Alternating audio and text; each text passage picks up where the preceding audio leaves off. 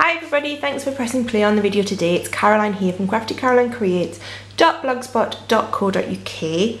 What I have for you today is this box, which I think is possibly one of the most classy, elegant gift boxes that I've seen in a while. I am quite proud of it, as you can perhaps tell, but it is incredibly simple to make. I'll just show you how it unwraps. The ribbon undoes um, and it slides off.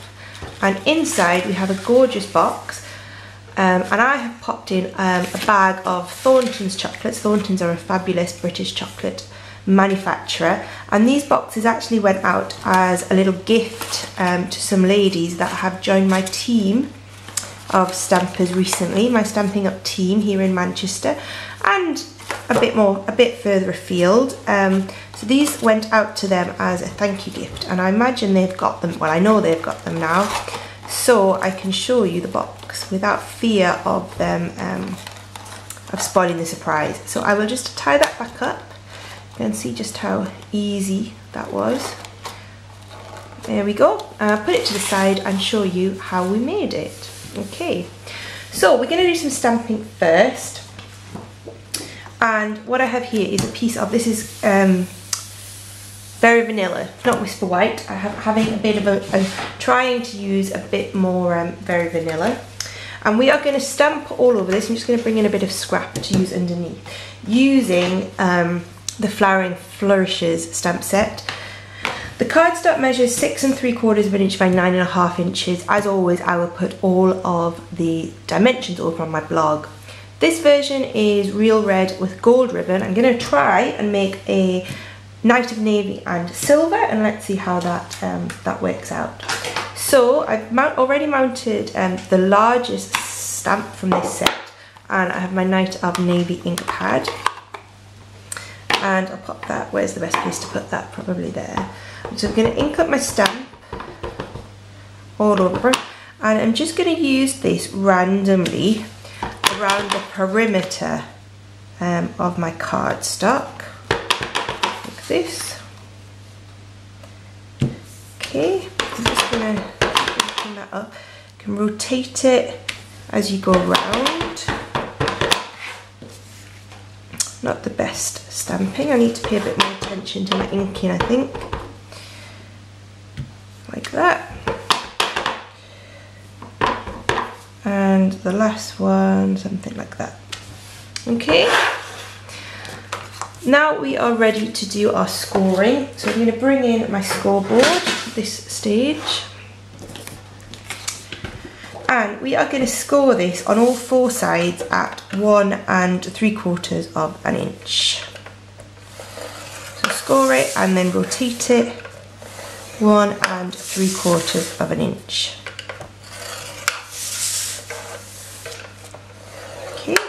While I've got the scoreboard out, I'm going to also score the, the wrap section. This measures um, six and three quarters of an inch again, but it measures nine and a half in the long dimension.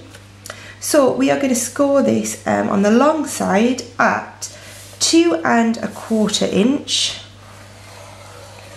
four inches,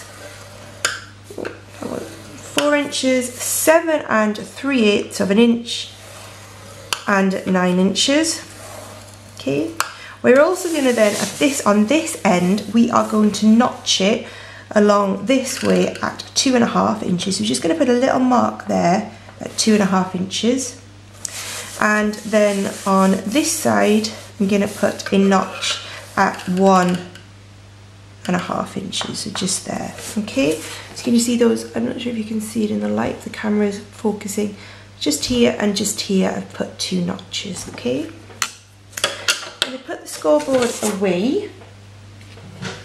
And I'm going to bring in my big Stampin' Up scissors. You can use um,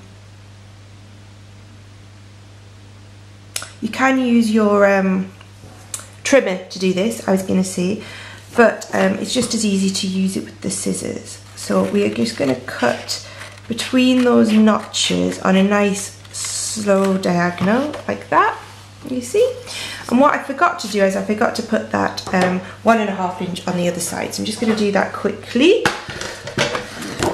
so just going to mark here at one and a half inches And again, I'm just going to join those two notches up with my scissors. Cut that off like that. Okay. Put the scoreboard away for good now. I don't think I've forgotten any scoring. And we will just fold and burnish the score lines on our wrap.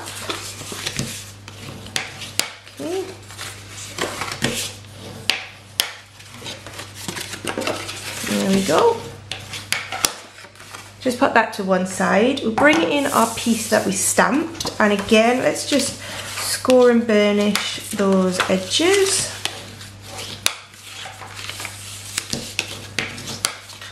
Sorry, fold and burnish those edges. I always say score and burnish, don't I? Um, and then we're just going to cut up these score lines here. So we're making two flaps on that end and two flaps on this end. We are going to just quickly notch those out. As always, this is purely optional. It just does give you a bit more of a professional finish when you fold it up.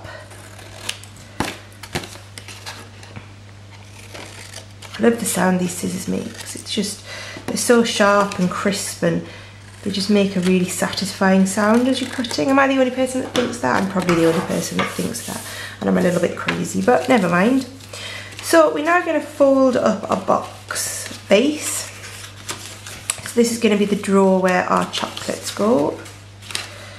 Just like that, pull that chamfer away. Just going to use um, a little bit of fuse to do this.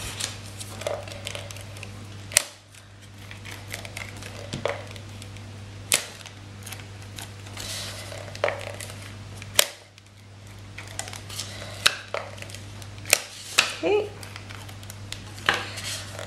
Fuse on there, like that. And then like that. Okay, we're just going to fold those up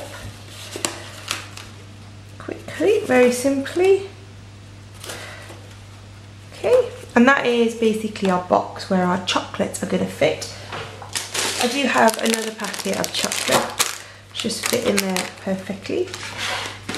And then this is going to stick down onto the middle section of our wrap. So take chocolate out for a moment while I do that. Just going to use Tombow um, on the base of the box.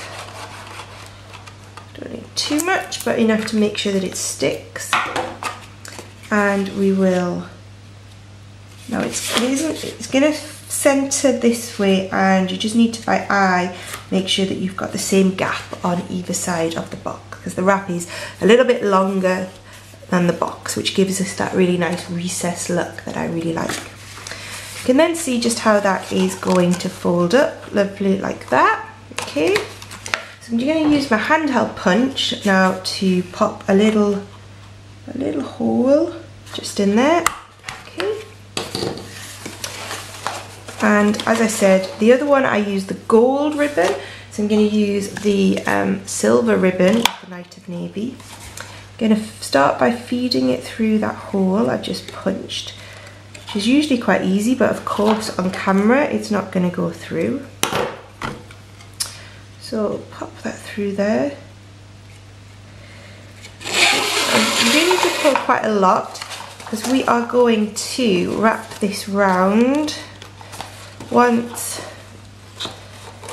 twice and then bring it back up here and we're going to tie it off in a nice little bow here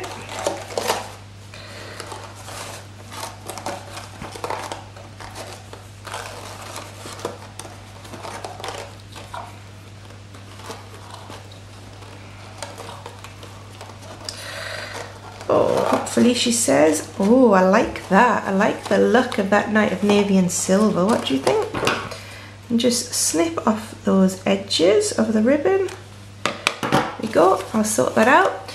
Um, you want to make sure that your ribbon is crossing over on the bottom of the box so that it looks nice um, on the sides. And then on the original one that I oh that I showed you, so on my floor there, um, I put on three gold sequins that came off the sequin trim that you saw I had left over if you watched my video for the um, Bohemian DSP pack um, bag Um, so what on this one I'm going to do, if I have them, yep, here they are, is just put three little um, of the largest sized rhinestones on the corner here, just to give, just to finish it off, really. There we go.